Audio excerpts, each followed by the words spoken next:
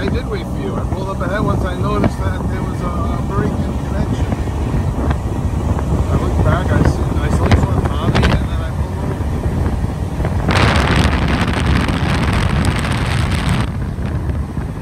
I knew you guys all pulled, we all pulled out.